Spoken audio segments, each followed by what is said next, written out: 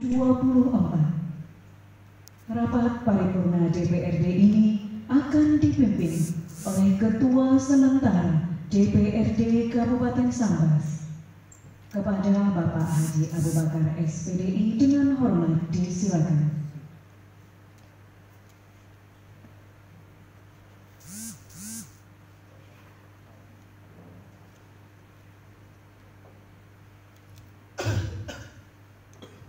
Bismillahirrahmanirrahim.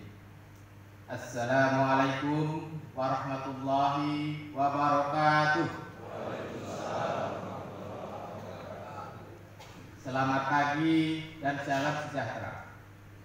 Yang terhormat Bapak Gubernur Kalimantan Barat yang dalam hal ini diwakili oleh Asisten Perekonomian dan Pembangunan Sekretaris Daerah Provinsi Kalimantan Barat. Yang terhormat Bupati Sambas, yang terhormat Wakil Bupati Sambas, yang terhormat Ketua Pengadilan Negeri Sambas,